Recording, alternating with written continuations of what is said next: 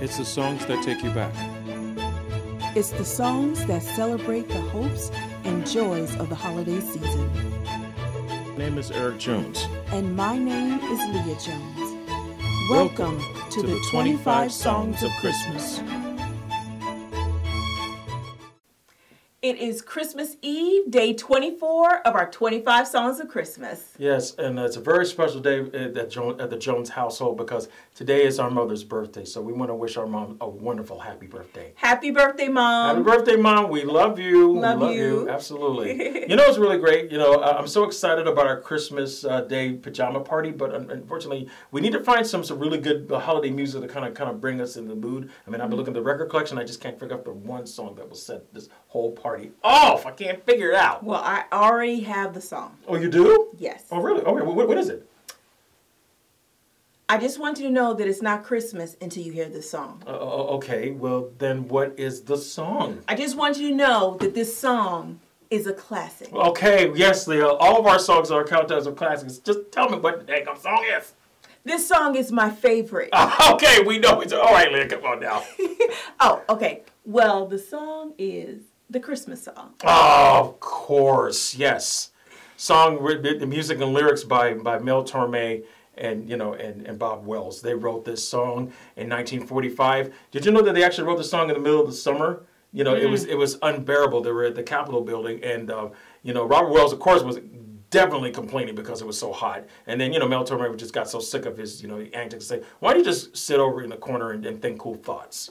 So that's what he did. He was thinking cool thoughts and he started writing to pen and paper. And the first lyrics that came to mind was chestnuts roasting on an open fire, Jack Frost nipping at your nose. And wow. of course, it was, you knew everybody knows the rest of the words. Mm-hmm. And it just became classic. So Mel Torme recorded it first.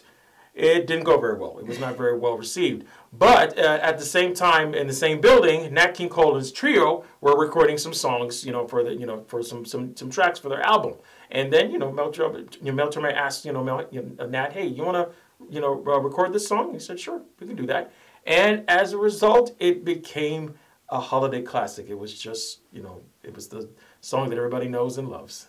Well, I hope you guys enjoy this classic Nat King Cole version of the Christmas song. Enjoy, guys.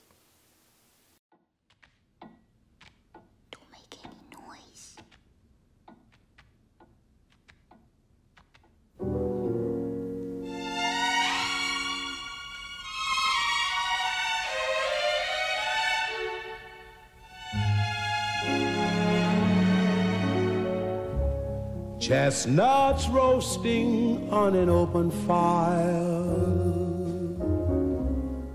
Jack Frost nipping at your nose. Yuletide carols being sung by a choir. And folks dressed up like Eskimos.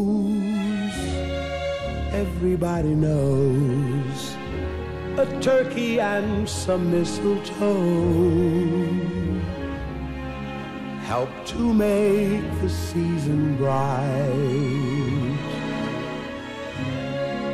Tiny tots with their eyes all aglow will find it hard to sleep tonight. They know that Santa's on his way. He's loaded lots of toys and goodies on his sleigh.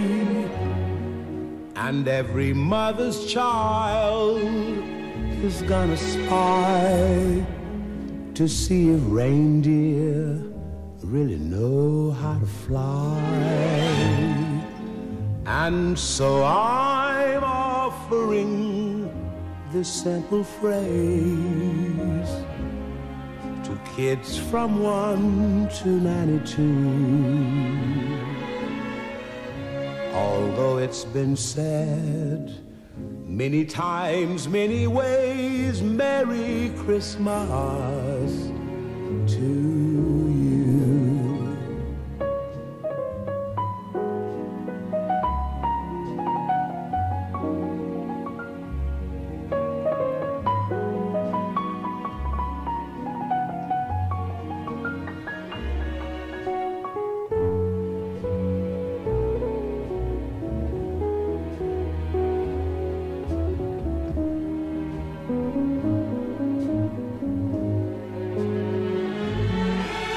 And so I'm offering the simple phrase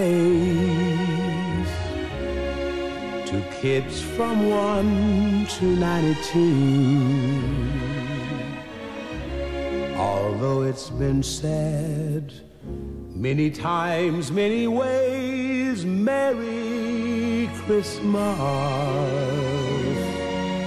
to you.